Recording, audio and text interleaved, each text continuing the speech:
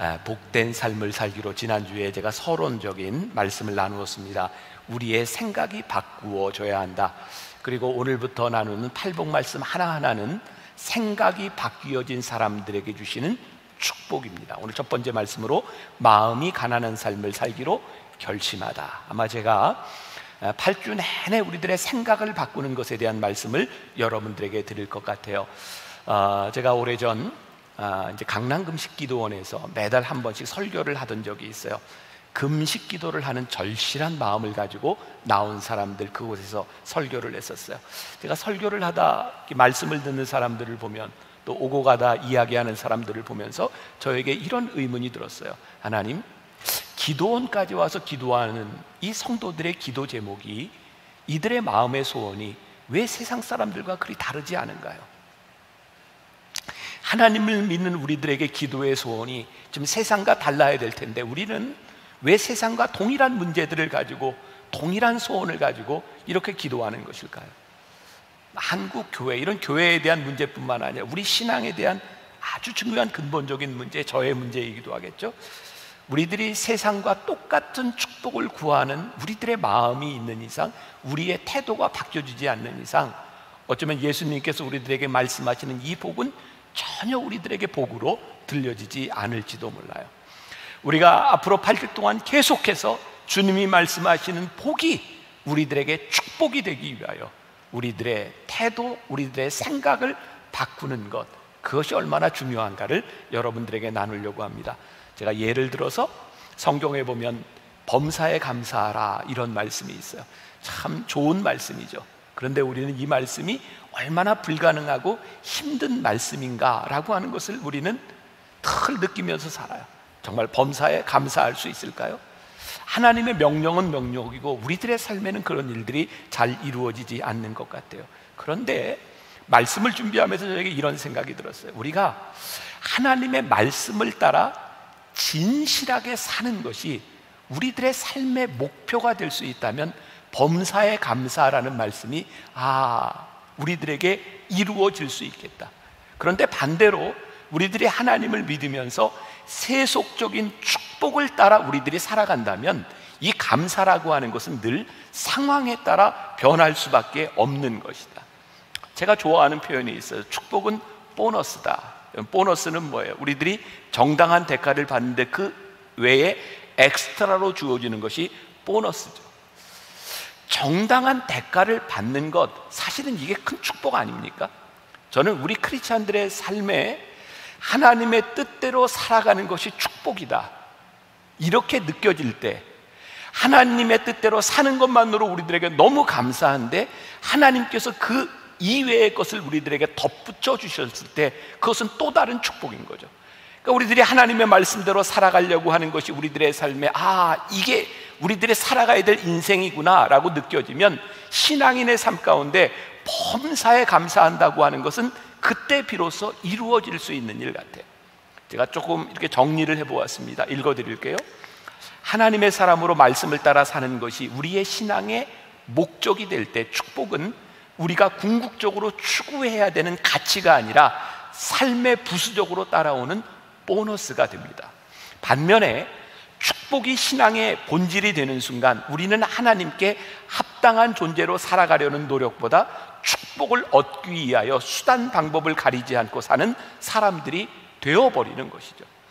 오늘 팔복의 말씀은 우리들이 어떤 태도로 살아가느냐에 따라 그것이 우리들에게 복이 될 수도 있고 그것이 우리들에게 그저 힘든 말씀이 될 수도 있어요.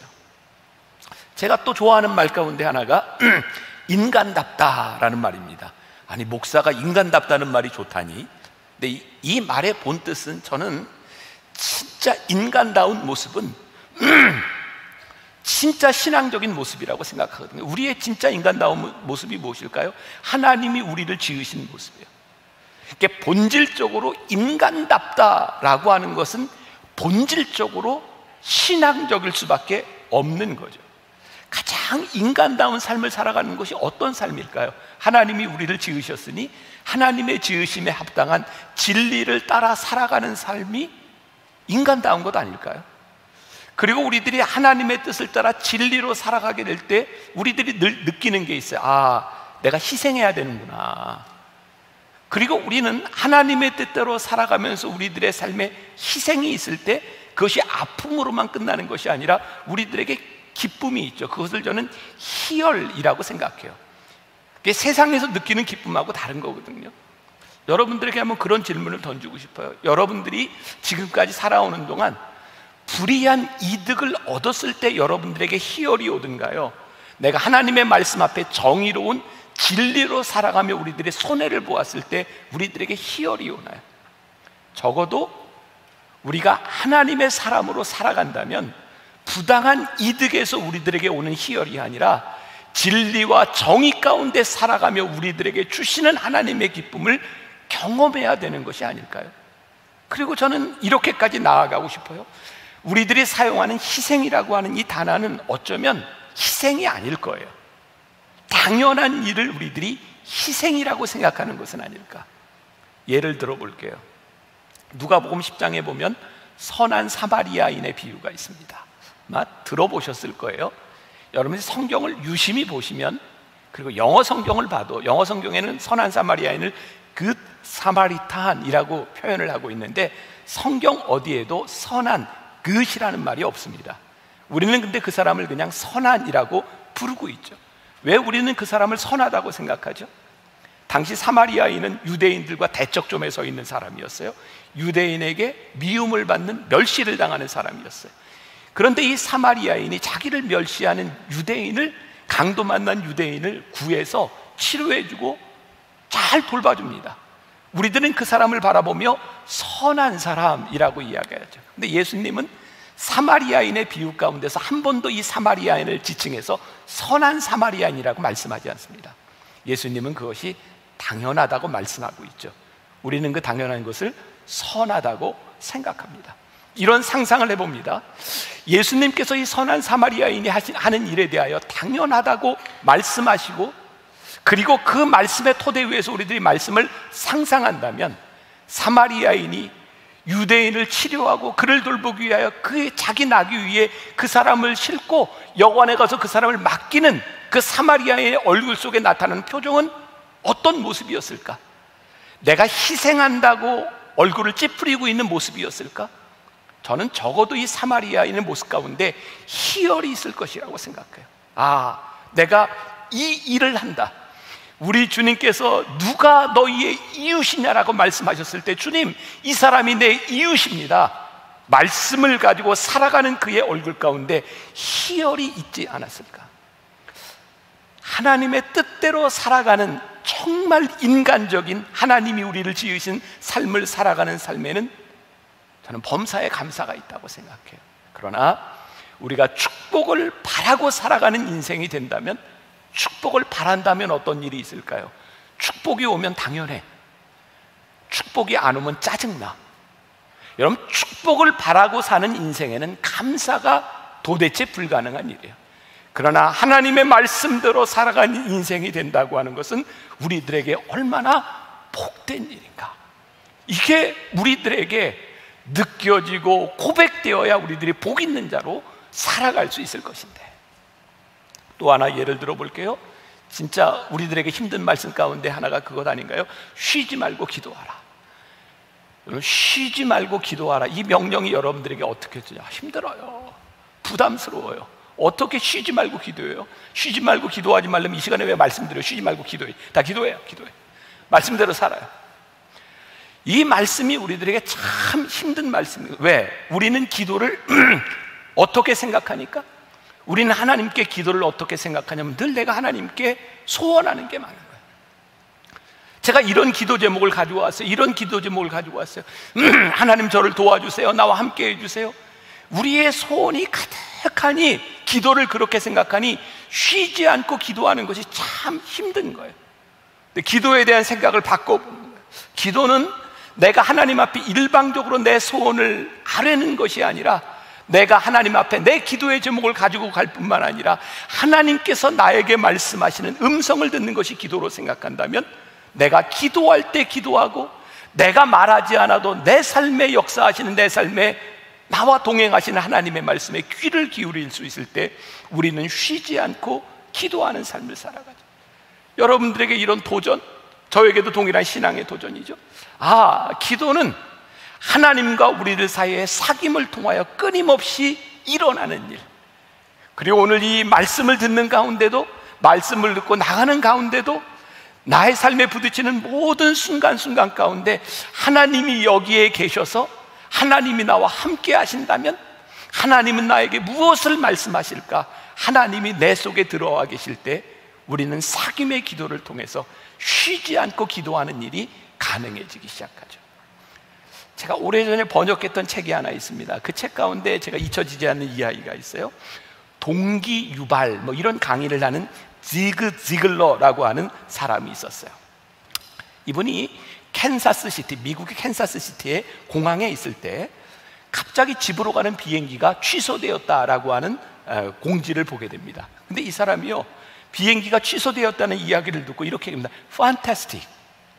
그랬더니 이 fantastic이라고 하는 말을 하는 이 사람을 바라보면 직원들이 의아하게 생각하는 거죠. 선생님, 지금 나온 방송이 비행기가 취소되었다는 방송이에요.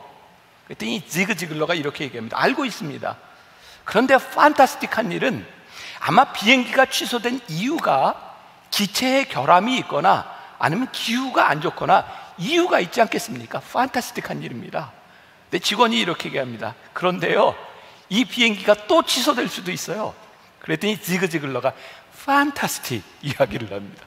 직원이 깜짝 놀라 아니 뭐가 판타스틱합니까? 사실은 내가 읽을 책도 많고 이 캔자스시티의 공항을 새로 줘서 너무 깨끗한데 내가 라운지에 가서 내가 읽고 싶은 책을 읽고 쉴 수 있다고 하는 게 얼마나 판타스틱한 일입니까?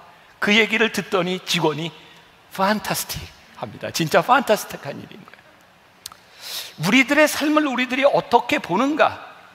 하나님께서 왜 우리들을 여기에 있게 하셨고 이런 일들이 일어나게 하셨는가? 그것을 하나님과의 사귐 가운데서 하나님 우리들에게 이 일을 주신 하나님의 생각들이 우리들에게 들어오기 시작할 때 우리들의 삶이 판타스틱하게 변화되죠. 우리가 복 있는 자로 살아가는 것은 우리의 욕심과 우리들이 원하는 것이 채워질 때가 아니라는 말이죠. 미국의 갤럽에서 아, 미국에 있는 사람들 각 계층마다 돈이 많은 사람, 적은 사람, 아주 많은 사람 계층마다 부자를 어떻게 정의하는가 갤럽에서 조사를 했습니다. 모든 사람들의 부자에 대한 정의가 다르답니다. 그런데 유일한 공통점을 하나 발견했는데 각 계층에서 돈이 많은 사람, 적은 사람 다 계층에서 자기가 지금 벌고 있는 수입의 두 배 정도가 되면 부자라고 생각한다는 거죠. 그러니 부자라고 하는 이 말의 단어, 이 의미가 끊임없이 표적을 옮겨가고 있는 거예요. 그러니까 이 돈을 가지고 물질을 가지고 우리들에게 만족이 오지 않는다는 거죠. 앤디 스탠리가 지난주에도 제가 소개해드린 책인데 부자로 살기보다 부유하게 살라라고 하는 책에서 사람들의 문제는 부자로 사는 것에 참 익숙하지 않다는 것이다 라고 말을 합니다. 부자로 사는 것에 익숙하지 않다는 거예요. 그래서 이제 미국적인 통계 얘기는 하지만 사람들이요, 1년에 한 5만 불쯤 수입을 가진 사람들이 남을 돕는데 기부하는 데 쓰는 비율이 한 6% 정도 된답니다. 그런데 수입이 20만 불 정도 늘어가면 기부하는 액수가 4% 정도로 떨어진답니다. 돈이 많아지는데 부자로 살지 못한다는 겁니다. 돈이 많은 것과 부자 노릇을 하는 것은 다르다는 말입니다. 오늘 이런 세상에서 오늘 가난한 자는 복이 있다라고 하는 말씀이 우리들에게 무슨 의미인가? 우리들에게 가난한 것이 복이 있다. 누가복음에서는 이 산상수훈에 가난한 자로 되어 있고 오늘 마태복음에서는 심령이 가난한 자라고 되어 있어요.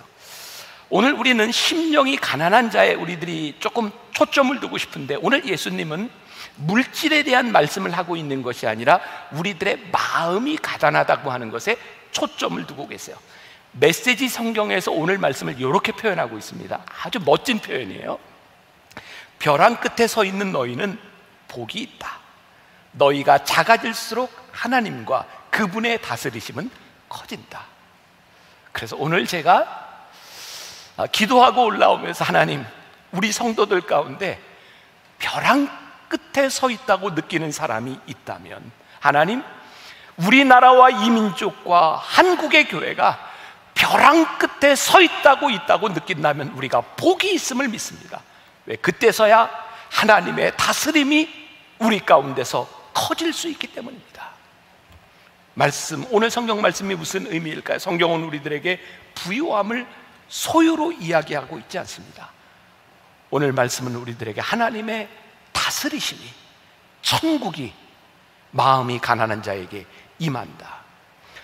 성경은 오늘 우리들에게 부를 소유하는 것에 대한 문제가 아니라 부자로 사는 것에 대한 관심을 이야기하고 있고요. 심령이 가난함으로 인하여 우리들의 마음 가운데 하나님을 향한 갈망이 커지면 커질수록 우리들의 삶의 온 영역 가운데 하나님의 다스림이 임한다라고 말씀하고 있어요. 여기서 여러분들에게 질문을 던지고 싶어요. 하나님의 다스림이 우리 가운데 임하는 것이 축복입니까? 적어도 우리가 그냥 건성건성 예수 믿겠다고 나온 사람들이 아니라 주님의 제자로 살아가겠다고 나온 우리들에게 하나님의 다스림이 축복이라고 느껴지지 않는다면 우리는 하나님을 떠나갈 수밖에 없는 존재가 될지입니다. 아마 신앙생활을 오래 한 분들 금식 기도의 경험이 있을 거예요. 요즘 금식 기도 잘 안 하는 사람들은 아, 아마 건강 검진을 받을 때마다 1년, 2년 뭐 지날 때마다 특히 뭐 대장 내시경, 위 내시경 할 때 그런 경험들을 많이 겪을 거예요. 금식 기도할 때, 저도 금식 기도할 때 그랬던 것 같아요. 왜 우리가 그렇게 문자적으로 생각했을까? 열을 금식하면 열을 닦아서 12시 되는 시간. 금식 마지막에 가면 사실은 기도가 안 돼요. 요 시간이 너무너무 중요해요. 요게 땡쳐야 먹을 수 있는 거예요. 그래서 죄송합니다. 저는 그랬어요. 이거 먹을 걸 다 준비해 놓고 그리고 12시 될 때까지 기다렸다가 참 지금 생각해 보면 뭐 그렇게 그 시간에 그렇게 얽매였을까? 뭐 여기도 뭐 의사 선생님들 계시지만 그 병원에 가면 건강검진 받기 전에 그런 얘기 하잖아요. 위내시경 할 때, 뭐 대장내시경 할 때 저녁 6시 전 6시가 지나면 아무것도 먹지 마시고 밤 9시가 지나면 물도 먹지 마세요. 그러죠. 여러분 그거 잘 지키세요? 근데 제가 지난주에 저는 건강검진 받았는데 건강검진 받으면서 내가 참 신기하더라고요. 가보니까 똑같이 그런 지시를 받고 왔는데 위 내시경 하는데 어떤 사람은 9시쯤 들어가서 하고 어떤 사람은 3시간쯤 후에 12시에 하기도 해요. 그러니까 굳이 그거 안 지켜도 됩니다. 근데 우리 잘 지켜요. 이유가 뭔지 아세요? 거기에는 배고픔이 있고요. 거기에는 건강에 대한 문제가 있기 때문에 우리들이 지키는 거거든요. 여러분, 마음이 가난하여져서 하나님께 대한 갈망이 있는 사람들에게는요, 이 세상에서 그 갈망으로 인하여 우리들이 해야 되는 일들이 눈에 들어와요. 그런데 그 갈망이 사라져버리면 하나님의 다스림이 우리들 가운데 일어나지 않아요. 마음이 가난한 자, 내가 벼랑 끝에 서서 하나님이 나를 다스려 주시지 않으면 내가 존재할 수 없어 라고 느끼지 못하는 우리들에게 하나님의 다스림은 없는 거예요. 자, 가난함이라고 하는 말과 대척점에 서 있는 소유욕이라고 하는 걸 생각해 볼까요? 왜 가난한 자가 복이 있다고 말씀하고 있는가? 마음이 가난하든 물질이 가난하든 여러분 소유욕은 어떤 게 소유, 소유욕일까요? 소유욕은 탐욕과도 같은 겁니다. 이것이 내 것이다 라고 생각하는 순간 하나님은 우리를 쓰실 수가 없습니다. 내 삶이 내 것이라고 생각하고 내 소유라고 생각하면 내가 내 삶을 다스리려고 합니다. 그래서 성경이 우리들에게 끊임없이 가난하라고 거예요. 내가 하나님 앞에 가난해지지 않으면 너는 하나님의 다스림을 받을 수가 없어. 적어도 제자로 살겠다고 나온 우리들에게 하나님이 우리를 쓰실 수 없는 것만큼 비참한 일이 어디 있어요? 내가 너 못 쓰겠다. 내가 더 이상 너를 사용할 수 없다. 세상 사람들의 이야기가 아니라 적어도 우리가 주님의 다스림을 받는 자가 되겠다고 나온 제자들이라고 한다면 이것처럼 무서운 말씀이 어디 있겠어요? 오늘 예수님께서 첫 번째 복으로 이렇게 선포하셨어요. 심령이 가난한 자는 복이 있다. 유명한 철학자 파스칼은 인간의 정상적인 상태는 병들었을 때라고 말을 해요. 요즘 특히 재난 영화들이 많이 나오죠. 기후, 뭐 지진, 지구가 멸망하는 모습들이 많이 나와요. 이미 자연의 재난 앞에서 인간이 얼마나 무기력한 존재인지 이번 코로나를 지나가면서도 우리의 계획들이 다 깨어지는 것을 바라보며 우리들이 얼마나 무기력한 존재인지 그런데 우리가 오늘 예배를 드리면서 하나님 앞에 우리들이 기뻐하고 감사할 수 있는 게 뭐냐면 하나님 제가 이렇게 무기력한 존재가 되었사오니 하나님 앞에 제가 무릎을 꿇을 수밖에 없는 존재가 되었사오니 하나님 나를 다스려 주옵소서 오늘 아침부터 저희는 이제 매주 주일 아침마다 우리 장로님들과 공부를 합니다. 오늘 말씀 공부하고 제자에 대한 공부를 하면서 어떤 장로님이 그런 고백을 하셨어요. 이 코로나로 인해서 장로님이 계획했던 교회 일을 할 수 있는 것들이 아무것도 없더라는 거예요. 근데 가만히 생각해 보니 이게 내가 이것도 하고 이것도 하고 이것도 하고 싶었는데 할 수 있는 게 없더라는 거예요.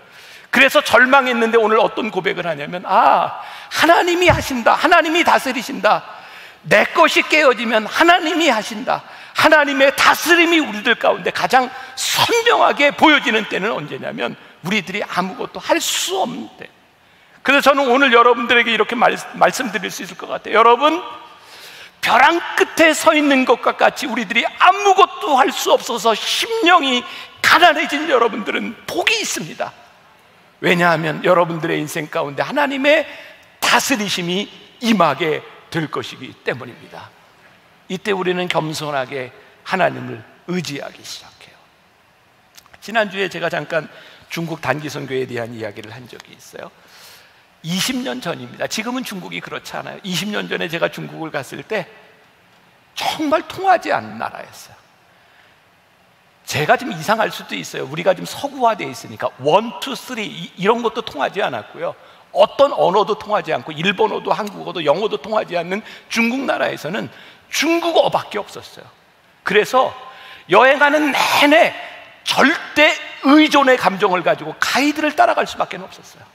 절대 의존이었어요. 그러면서 그때 그런 생각이 들더라고요. 이거 중국어를 배워야 되겠다.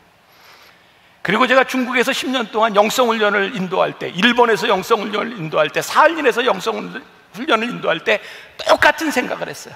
내가 한국에 가면 중국어를 배우리라. 한국에 가면 일본어를 배우리라. 한국에 가면 러시아어를 배우리라. 그런데 그 갈망이요. 한국에 오면 사라져요. 그 갈망이 오래 가지 않더라고요. 그리고 더 결정적인 건 좋은 통역을 만날 때마다 제 갈망은 점점 점점 사라져가요. 그런 생각을 합니다. 하나님, 우리의 인생 한복판에서 이 세상 한복판에서 우리가 어떻게 하나님 아니고는 설 수 없는 존재입니다.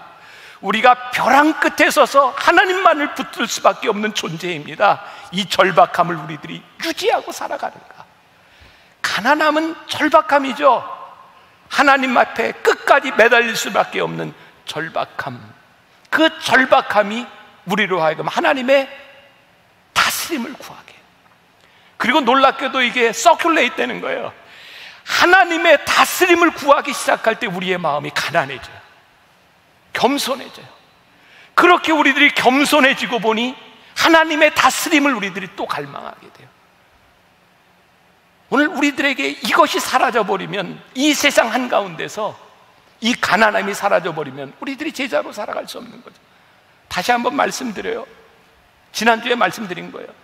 사람들이 예수님을 따라갔는데 어떤 사람들에게 예수님이 이 말씀을 하셨냐면 많은 군중들 가운데 예수님을 따라서 산에 올라가서 나는 제자가 되겠다고 했던 사람들에게 예수님께서 이 말씀을 전하셨어요.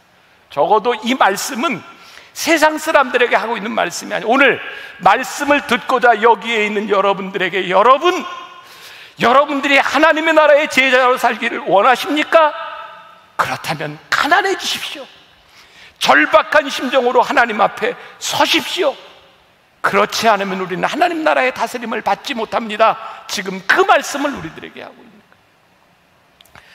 로마서 7장 24절과 또 21절 사도 바울의 고백이 있어요. 오호라 나는 곤고한 사람이로다. 이 사망의 몸에서 누가 나를 건져내랴. 그러므로 내가 한 법을 깨달았느니 곧 선을 행하기 원하는 나에게 악이 함께 있는 것이로다. 사도 바울이 깨달았어. 오라. 나는 곤고한 사람이로다. 오늘 우리가 이런 고백을 해요. 주님, 저 이렇게밖에 되지 않는 존재입니다. 주님, 제가 이런 일에도 무너지고, 주님, 이런 일에도 내가 무릎 꿇고, 하나님 내 속에 있는 이 악한 것들로 인하여 나는 하나님 앞에 설 수 없는 존재입니다. 주님, 나를 도와주세요. 하나님, 내 힘을 가지고는 이 문제를 해결할 수가 없습니다. 주님 도와주시지 않으면 제가 여기에 설 수 없습니다. 주님 나를 도와주세요. 이 가난한 마음으로 주님 앞에 서고 나니 주님께서 우리들에게 말씀하십니다. 그래, 내가 너를 다스리리라. 내가 너와 함께하리라. 내가 너를 붙잡아 주리라. 아, 그렇군요, 주님. 내 마음의 가난함이, 내 마음의 절박함이 이것이 나에게 축복임을 고백합니다.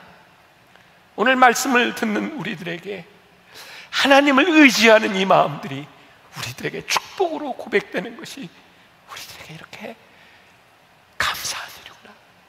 이것이 복이구나. 오늘 여러분들이 복된 자가 되었으면 참 좋겠습니다. 자, 군의 군목으로 있던 시절에 뭐 요즘은 그렇지 않아. 이게 뭐다 갑질이라고 이야기를 하니까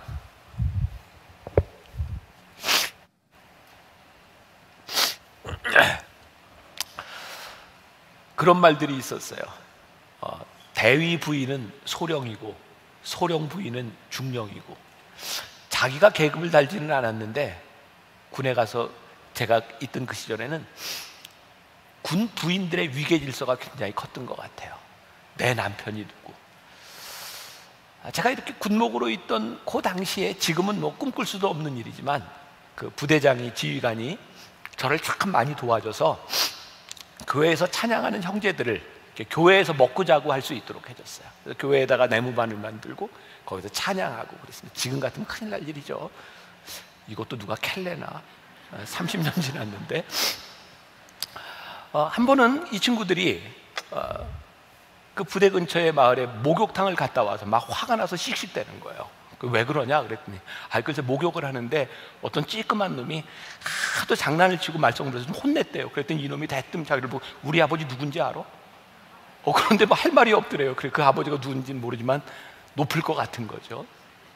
애들을 보면서 사실 애들은 자신 있게 이야기할 수 있는 게 뭐냐? 우리 아버지 누군지 알아?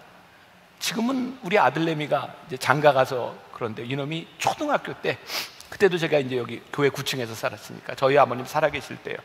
한 번에 엘리베이터를 타고 가는데 어떤 교인한테 이제 인사를 한 모양이에요. 근데 교인이 그냥 인사를 받더니 아는 척을 안 해준 모양이에요. 이놈이 그분한테 그랬대요. 우리 할아버지가 누군지 아세요?